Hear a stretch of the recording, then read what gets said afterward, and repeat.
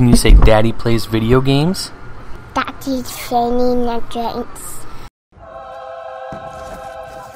Isn't it beautiful? Oh, absolutely love it. We're back! Treyarch has such a great sense of humor. Of course, they never left us. They never left my heart because Black Ops 2 is probably, yeah, I'd probably say tied for number one favorite Call of Duty of all time. Now, Call of Duty 2015, definitely look forward to it. Definitely look forward to Treyarch and, and being a part of that. By the way, Treyarch, if you guys want to invite me out to uh, you know talk about the PC version of it, I'd love to come out and see you. Anyway, after that little plug, like like they watched the video, uh, wanted to talk about knifing in the next Call of Duty 2015. Now, I, I have some sharpshooter in the background, which is just means grab your ballistic knives and have a lot of fun and try not to get axed in the back. And um, I, have been thinking about knifing tonight in, in, the different, you know, while I was playing this, I was actually playing, uh, you know, some TDM and some domination. I was just using ballistic knives pretty much all night. Uh, whether that's troll face or not, I, I just I love them so much.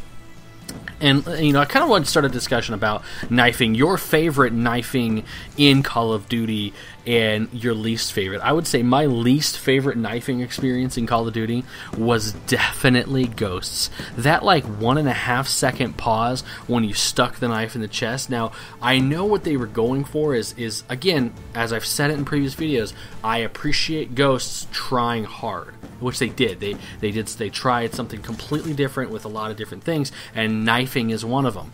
I mean, you went from like Black Ops One or Modern Warfare Three uh, to where it was just this or even Black Ops 2, where it was very quick. It was very like swipey and quick, and and you had this really kind of odd knifing knifing hitbox for for different games. To where for Call of Duty Ghosts, which like I said is my least favorite knifing, you, you turn somebody around or you or you got somebody and you, you you bam you stuck it in their chest. And there was this animation, and it completely stopped your combat, which I guess maybe feels quote unquote maybe more realistic.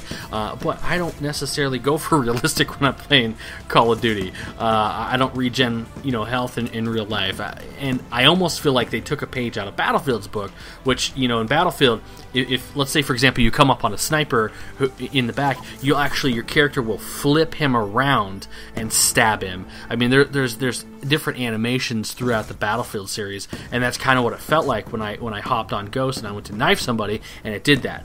And so my favorite knifing is is just hands down uh, ballistic knives. I mean, I've gotten double dogs and swarms and, and nuclears, all with ballistic knives previously, and, and that's just not knifing, it's actually shooting them. And I remember when ballistic knives came out in Black Ops 1, I thought they were just the coolest thing in the world, and I actually really sucked with them in Black Ops 1, and I, I wasn't too good with the knifing mechanics in Black Ops 1 because I felt like the hitbox was so close to your chest, And, in, in where in here you kind of lunge out, and it feels more akin to Modern Warfare 2 2. Now, if you guys played Modern Warfare 2 and had the commando streak and knifing, now that was redonkulous. I mean, that was just like troll face. Uh, you would literally, if you guys never played that, you would literally leap like five feet in front of you to knife somebody. It was just silly. I, I, it's just silly. And the people that can remember playing that game remember that it was just, I mean, it was goofy. Someone run, running commando and knife, it was just, you, you, knew they were there to troll. That was pretty much it. Uh, that and the dual G18s. I hated those so much.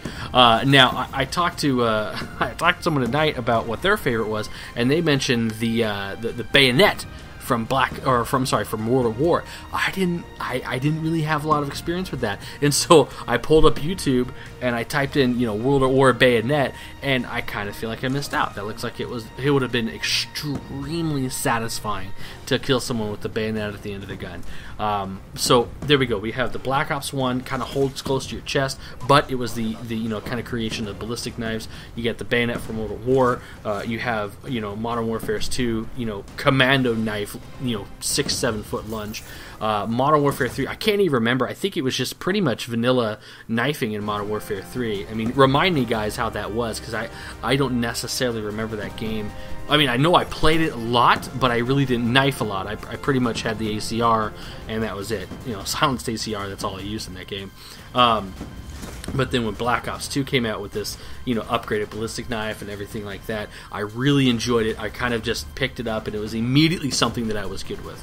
Uh, but that's what I want to talk about knifing. What do you hope knifing is going to be like in the next Call of Duty? I'm hoping it's definitely sticking more towards the Black Ops 2. That, that's my hope. Hope you guys have an absolutely wonderful day. Bye bye.